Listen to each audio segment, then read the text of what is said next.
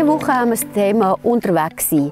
Zum Beispiel im Auto. Und es ist wichtig, dass man auch unterwegs sich ein bisschen anders bewegen oder entspannen kann. Wichtig ist zuerst einmal im Auto der Sitz, wenn Sie einen Mietwagen haben oder einen Mietwagen haben. Gut sitzen, so wie im eigenen Auto. Machen es euch bequem, schaut Seitenspiegel, Rückspiegel an. Das ist ganz etwas Wichtiges, auch wegen der Kopfbeweglichkeit. Und so sind wir mal unterwegs.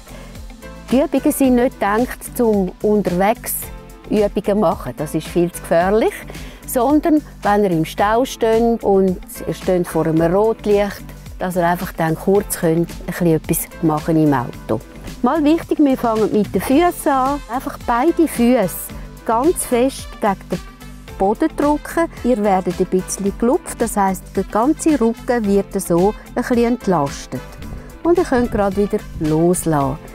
Für oben die Schulterblätter, Nacken könnt ihr ein bisschen vorlehnen und euch hier ein bisschen wegstoßen, abdrücken, lang machen, einen geraden Nacken, hier oben ein Moment bleiben. Und langsam wieder loslassen. Lehnt euch dann nochmal hinterher, nehmt die Hände hinterher, hinter die Nackenstütze.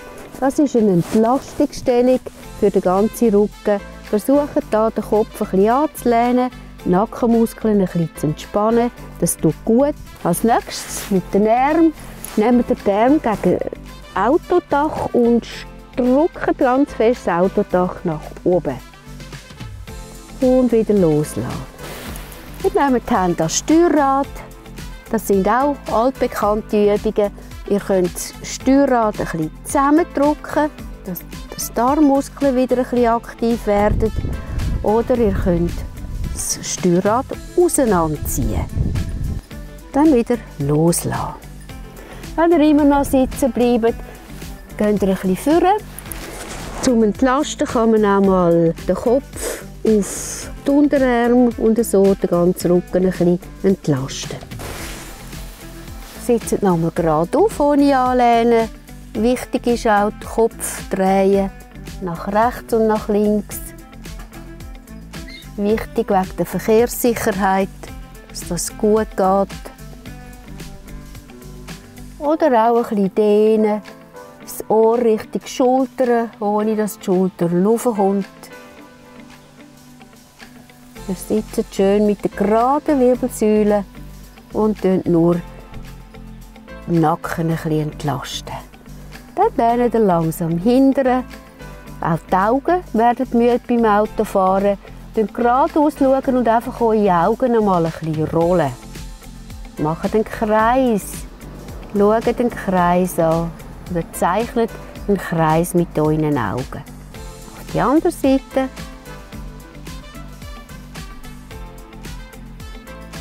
Gut, und um die Augen noch ein bisschen entspannen, könnt ihr die Hände zuerst ein bisschen reiben.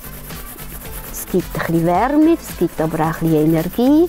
Lehnt dann nochmal hinterher, legt eure Handflächen auf die geschlossenen Augen legen und versucht so eure Augen ein bisschen zu entspannen.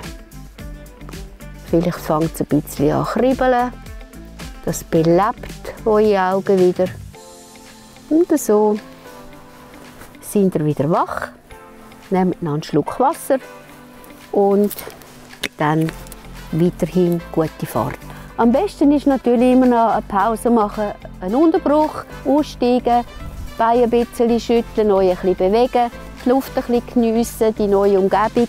Und wenn es dabei gut tut, kurz ans Auto anlehnen und die hinteren Muskeln von den die ja meistens zu Bogen sind im Auto, die wieder ein bisschen dehnen und dann noch die andere Seite. Gut. Bevor ihr einsteigt, könnt ihr euch gut ja noch mal ein bisschen strecken. Tief ein- und ausschnaufen. Und dann sind ihr wieder frisch und fit zum Weiterfahren. Wenn ihr halt mit dem Auto unterwegs sind, gibt es nicht viele Möglichkeiten, aber es gibt sie. Gewisse Sachen gehen auch im Zug, im Flüger, mit dem Entlasten, mit dem Nachhaufen Es sind einfach isometrische Spannungsübungen, die ihr überall machen könnt, wenn ihr sitzt.